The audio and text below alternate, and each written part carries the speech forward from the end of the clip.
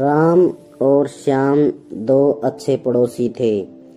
राम बेहद गरीब किसान था, जबकि श्याम अमीर पैसे वाला, बड़े मकान का मालिक था।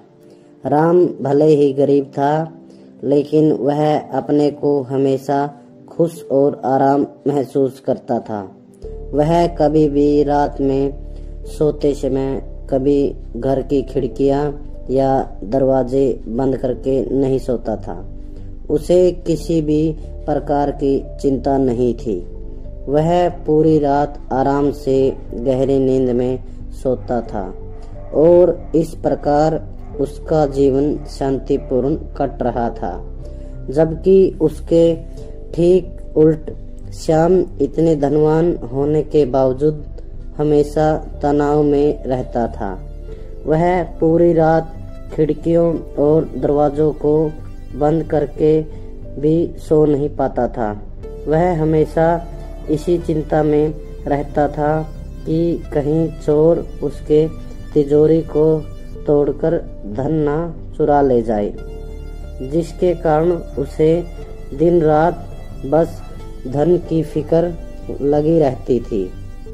एक दिन की बात है श्याम राम से बोला, तुम हमेशा गरीबी में ही रहते हो, मुझसे कुछ धन ले लो, और तुम भी अपना जीवन सुखपूर्ण गुजारो। इसके बाद राम अपने पड़ोसी से धन पाकर बहुत खुश हुआ। उसने न जाने कितने सपने देखने लगे, और इस प्रकार रात भी होने को आई, फिर धन को घर में छिपाकर खिड़कियों, दरवाजों को अच्छी तरह से बंद करके बिस्तर पर सोने को चला गया। लेकिन उसे आज नींद ही नहीं आ रही। उसका मन बार बार मिले धन पर ही जाता था। पर बार बार अपने धन के बारे में सोचता रहा, जिसके कारण आज वह पहली बार पूरी रात सो ना सका। और फिर राम ने निश्चय किया कि इस धन के चलते मेरी नींद और सुख चली गई हो। भला वह धन मेरे किस काम के? आज सुबह ही इसको अपने मित्र श्याम को ये धन वापस कर दूँगा।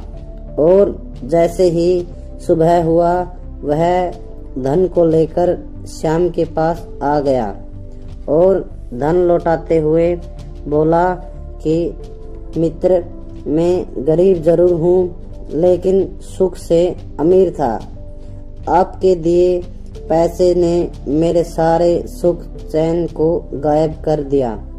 ऐसे धन न होने से ही अच्छा है। इसलिए इसे आप वापस अपने पास रख लें।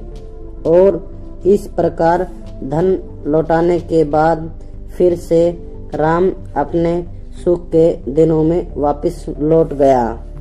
दोस्तों, आपको यह कहानी कैसी लगी, हमें कमेंट करके ज़रूर बताएँ और ऐसी ही हिंदी कहानियों के लिए हमारे चैनल को ज़रूर सब्सक्राइब करें। धन्यवाद।